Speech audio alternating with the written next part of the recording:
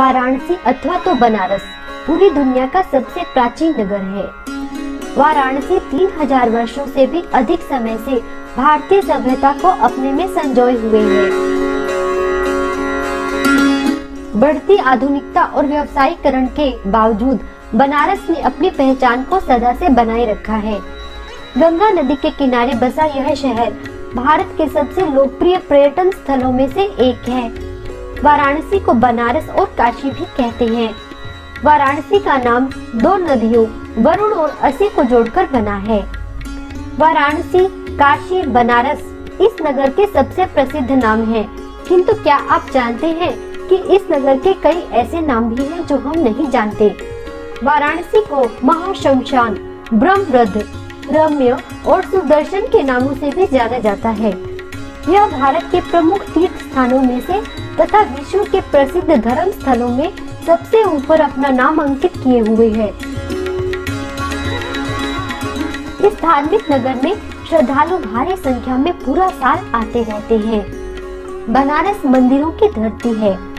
अकेले बनारस में ही तेईस हज़ार से भी ज़्यादा हिंदू मंदिर हैं।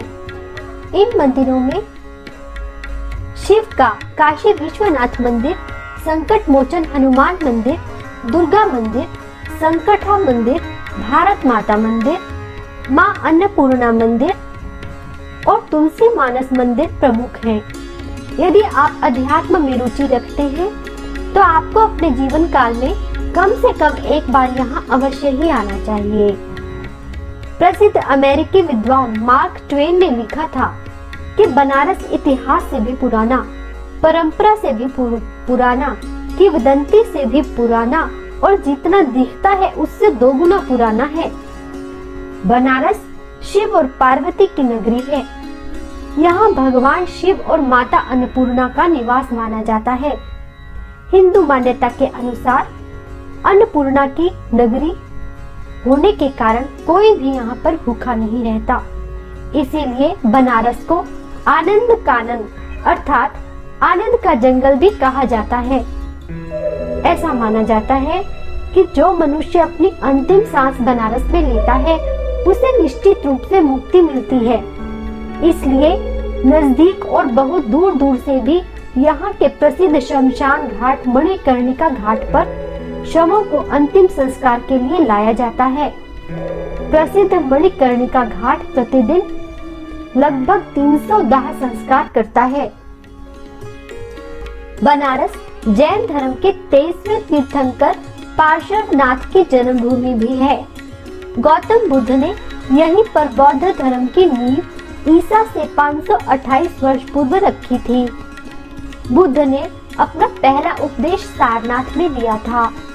सारनाथ बनारस के बिल्कुल नज़दीक है। गुरु नानक ने 1507 में महाशिवरात्रि के दिन वाराणसी की यात्रा की थी। यह एक ऐसी यात्रा थी जिसने सिख धर्म की स्थापना में एक बड़ी भूमिका निभाई बनारस में गंगा नदी पर चौरासी घाट हैं।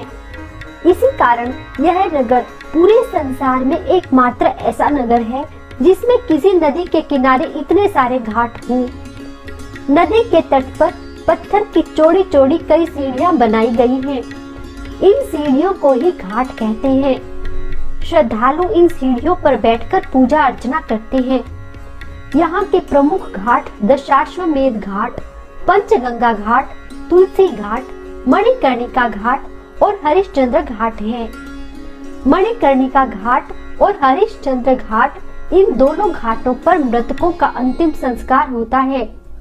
साथ ही यहाँ तीर्थ पुरोहित, ब्राह्मण इत्यादि वंशावलियों की बड़ी बड़ी पोथियों को संभाल कर रखते हैं। अपने ज्ञान की महिमा के कारण बनारस को प्रकाश का नगर अथवा तो सिटी ऑफ़ लाइट भी कहा जाता है। बनारस लाखों करोड़ों वर्षों से ज्ञान की पीठ कहलाता है। भारत के कोने कोने से महान विद्वान आते हैं और शास्त्रार्थ करते हैं। आदि शंकराचार्य जी से लेकर रामकृष्ण परमहंस तक सभी बड़े बड़े धर्म पुरुष यहाँ पर आ चुके हैं। यहाँ की बनारस हिंदू यूनिवर्सिटी विश्व में हिंदुओं को वेद शास्त्र की शिक्षा देने वाली सबसे बड़ी यूनिवर्सिटियों में से एक है। बनारस हिंदू यूनिवर्सिटी पूरे एशिया की लार्जेस्ट रेजिडेंशियल यूनिवर्सिटी है। संत गोस्वामी तुलसीदास जी ने श्री राम के जीवन पर वाराणसी में रामचरितमानस नामक महाकाव्य लिखा। भक्ति आंदोलन में कई अन्य प्रमुख महापुरुष बनारस में ही पैदा हुए, जिनमें कबीर और रविदास भी शामिल हैं।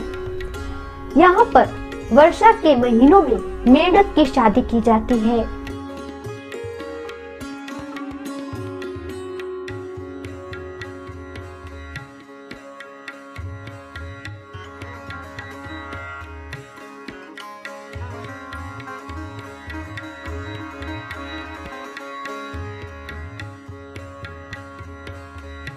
इस नगर की महिमा को देखते हुए प्रति वर्ष असंख्य पर्यटक यहाँ आते हैं और सदा के लिए यहीं पर बस जाते हैं। बनारस अपनी योग तथा आयुर्वेद चिकित्सा पद्धति के लिए प्राचीन काल से जाना जाता रहा है। सारे विश्व को आयुर्वेद और योग चिकित्सा की देन का श्रेय बनारस को प्राप्त है। बनारस प्रति वर्ष पाँच दिवसीय म्यूजिकल ध्रुपद फेस्टिवल के लिए बहुत ही प्रसिद्ध है। यह फेस्टिवल तुलसी घाट पर होता है।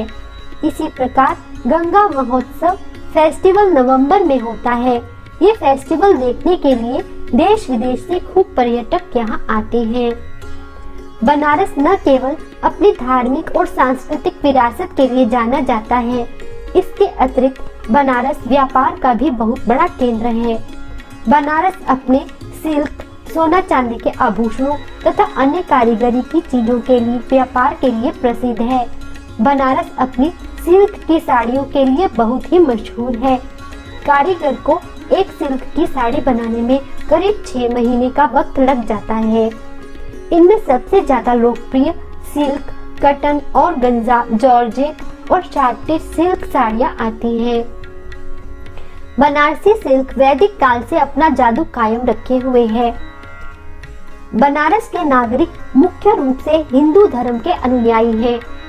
मुस्लिम लोग यहाँ के सबसे बड़े अल्पसंख्यक हैं। बनारस की 70 प्रतिशत जनसंख्या हिंदुओं की है यहाँ कुछ कुछ कुछ ईसाई, जैन, सिख और बौद्ध धर्म के अनुयायी भी रहते हैं बनारस को आप मिनी इंडिया भी कह सकते हैं तेईस हज़ार हिंदू मंदिरों के साथ साथ बनारस में बारह चर्च, तीन जैन मंदिर, नौ बौद्ध मठ, तीन गुरुद्वारे और तेरह मुस्लिम धर्म स्थल भी हैं। यहाँ साड़ियों की बुनाई का काम मुख्य रूप से मुस्लिम लोग ही करते हैं बनारस में diesel locomotive works, Bharat heavy electricals लोगों को बहुत बड़ा रोज़गार दे रही हैं। इसके अलावा बनारस में दरी, कालीन, पीतल तांबे के बर्तन, लकड़ी और मिट्टी के खिलौने, सोना चांदी के जेवर और म्यूजिकल इंस्ट्रूमेंट्स की मैन्युफैक्चरिंग और होलसेल ट्रेडिंग होती है बनारस के पान, लंगड़ा, आम और खोए से बनी मिठाइयाँ बहुत ही मशहूर हैं। बनारस में 19 प्राचीन दर्शनीय इमारतें हैं इनमें से प्रमुख हैं जैसे काशी विश्वनाथ मंदिर, अशोक स्तंभ भारत कला भवन, जंतर मंतर, रामनगर फोर्ट, भारत माता मंदिर, संकट मोचन मंदिर, दुर्गा मंदिर, धन्वंतरी मंदिर, महात्मा गांधी काशी विद्यापीठ।